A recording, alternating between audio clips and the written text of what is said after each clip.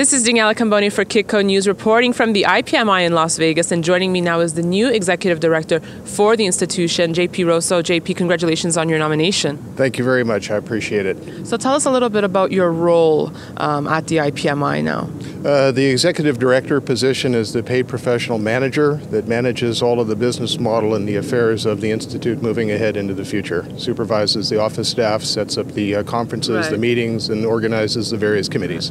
JP, why is it important that the IPMI exists?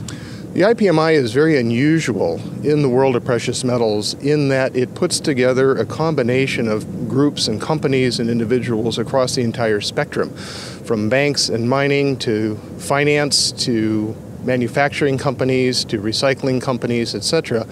And it focuses in on the physical side of the marketplace.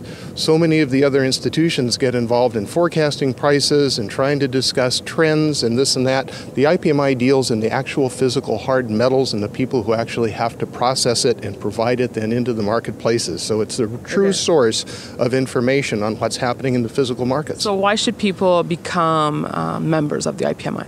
Because they can get actual hard technical knowledge of the technical aspects, not of financial formulas, but wow, there's going to be a development that could increase the physical use of palladium in a new catalyst and increase consumption by 200,000 ounces a year.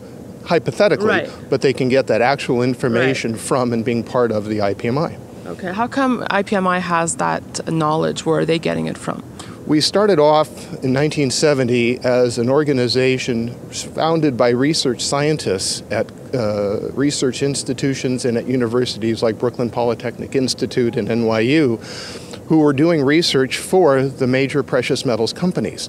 The more they saw the value of this, of getting together, of sharing their thoughts and ideas, it brought in those companies Right. that were sponsoring that research, again, on physical metal. Not pricings and markets and speculations, but what can we do with the metal uh, to enhance our lives? So, what trends are you seeing at the IPMI this year? What are the main topics of conversation? Main topics uh, are tending towards future sources of new supply of PGMs, for example. Uh, CPM Group had a very nice presentation on that. Also, future uses, new developments for usage of all of the precious metals, the PGMs as well as gold and silver.